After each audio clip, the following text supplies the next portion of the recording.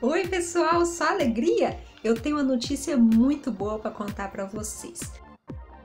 Eu busco meu irmão no colégio e lá não tem estacionamento privado. Lá eu tenho que estacionar na rua, né, no estacionamento público. E lá não tem acessibilidade. Por quê? Porque não tem vaga especial, nem de idoso, nem de pessoa com deficiência ou com mobilidade reduzida. Então, eu resolvi solicitar junto à BH Trans, que é o órgão responsável pelo trânsito em Belo Horizonte. Solicitei a instalação de sinalização de vaga especial de estacionamento, não só para mim, mas sim para todas as pessoas com deficiência. Tem pais de alunos com deficiência, alunos com deficiência. Eu fiz a solicitação em fevereiro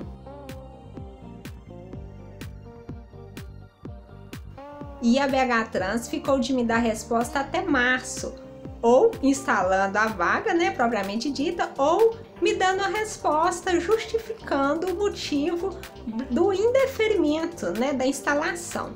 Só que isso não aconteceu. Então, uns dias atrás, eu enviei um e-mail para o presidente do Conselho Municipal dos Direitos da Pessoa com Deficiência de Belo Horizonte, o senhor Marcos Fontoura, e hoje, gente, não, confere aí, confere aí o vídeo para vocês verem a minha felicidade no dia de hoje. Gente, acabei de chegar aqui no colégio do meu irmão e uma surpresa muito boa para mim.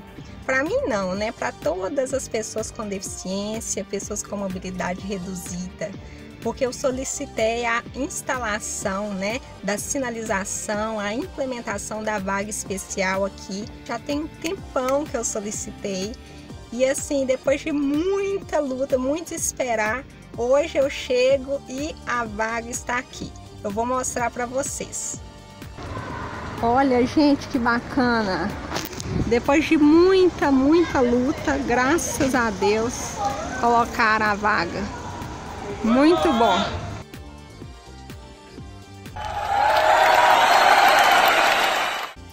Quero então aqui deixar meu agradecimento à BH Trans e ao presidente do Conselho Municipal dos Direitos da Pessoa com Deficiência.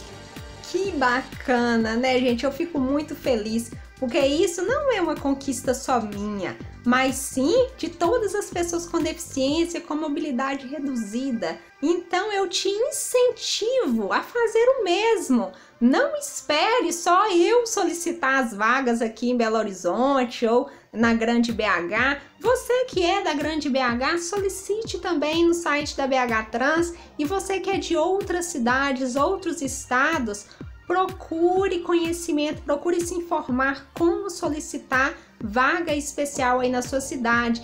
E sempre que você for em algum local e necessitar da vaga especial e você observar que ali outras pessoas também necessitam de uma vaga especial, solicite a instalação. Isso é conscientizar a população acerca da acessibilidade, acerca da inclusão das pessoas com deficiência e é também requerer o nosso direito que está previsto lá na Lei 3.146 de 2015, tá bom? Então você que não é inscrito ainda no canal, se inscreve, porque em breve eu vou postar um vídeo com tutorial de como solicitar vaga especial aqui em BH. Um abraço, me segue aí nas redes sociais, em arroba Clube dos Parafusados. Tem também um grupo lá no Facebook, Clube dos Parafusados. Te espero lá.